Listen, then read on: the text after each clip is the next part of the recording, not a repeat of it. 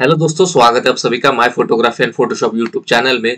दोस्तों कभी कभी क्या होता है कि जैसे हम फोटोशॉप में इमेजेस ओपन करते हैं तो बहुत सारे इमेजेस बहुत सारे इमेजेस को वाइट बैलेंस सेट करना होता है, या फिर कुछ इमेजेस दिखने में बहुत ही डल होती है।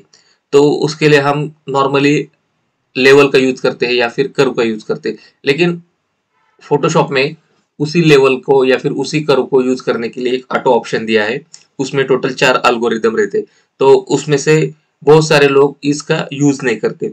तो आज हम क्या करेंगे लेवल की मदद से ऑटो लेवल का ऑप्शन यूज़ करेंगे और हमारी जो इमेजेस है, अभी आप देख सकते हैं यहाँ पे, हमारे लैपटॉप स्क्रीन पे दो इमेजेस यहाँ पे ओपन है। तो पहले इमेज में यहाँ पे आप देख सकते इसका वाइट बैलेंस थोड़ा सा गलत है और दूसरी इमेज में यहाँ पे इमेज थोड़ी सी डल है। या फिर उसमें कॉन्ट्रास्ट बहुत ही कम है, ठीक है? तो हम लेवल की, खाली लेवल के मदद से ऑटो ऑप्शन यूज़ करके इस इमेज को एडिट करेंगे।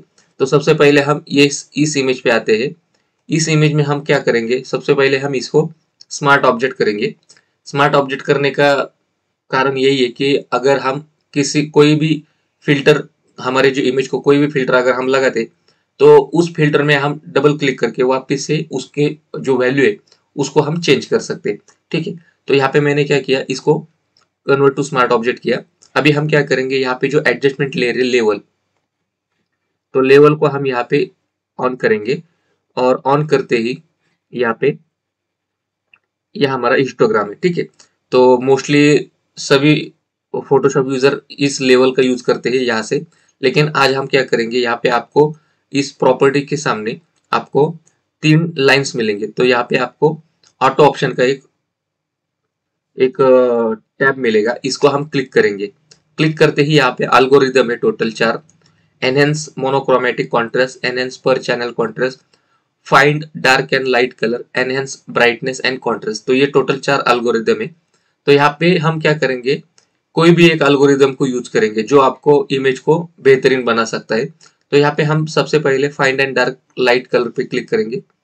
तो आप देख सकते हैं कि एक ही अल्गोरिदम में यह हमारा इमेज यहाँ पे व्हाइट बैलेंस भी हो गया। अभी हम क्या करेंगे, यहाँ पे ओके करेंगे। ओके करने के बाद सिंपल हम यहाँ पे हमारा लेवल यहाँ से एडजस्ट करेंगे।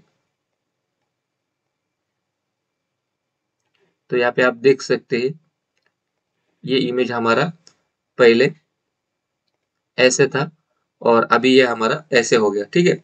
तो ये बिफोर और ये आफ्टर अभी हम क्या करेंगे? इस इमेज को एडिट करेंगे। इसके लिए सेम वही पैटर्न इसको पहले हम स्मार्ट ऑब्जेक्ट में कन्वर्ट करेंगे। ठीक है? और वापस से यहाँ पे लेवल को ऑन करेंगे। लेवल को ऑन करने के बाद यहाँ पे प्रॉपर्टी के सामने आपको ऑटो ऑप्शन का एक टैब मिलेगा। इसको आपको क्लिक करना है। क्लिक करते ही यहाँ पे फाइंड एंड डार्क कलर या फिर आप दूसरे भी अल्गोरिदम यहाँ पे चेक कर सकते जो अल्गोरिदम पे आपको अच्छा लगेगा, उस पे आप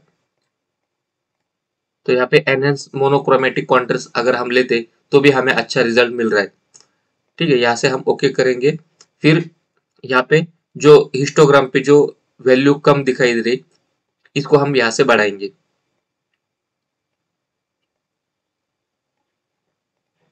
ठीक है, यहाँ पे आप देख सकते हैं ये बिफोर और ये हमारी आफ्टर ठीक है तो इस तरह से दोस्तों लेवल का ऑटो ऑप्शन यूज़ करके, उनके जो अल्गोरिदम है, उनका यूज़ करके आप, आपके इमेजेस में, जो डल इमेजेस है, जिसमें व्हाइट बैलेंस कम है, उसका यूज़ करके आप इमेजेस को और बेहतरीन बना सकते हैं। तो ये, इस वीडियो की बहुत छोटी सी टिप थी। अगर ये वीडियो आपको अच्छा लगा तो ज़रूर लाइक करना और सब्सक्राइब करना ना भूलना दोस्तों। तो आज की इस वीडियो में बस इतना ही। मिलते हैं अगले वीडियो में।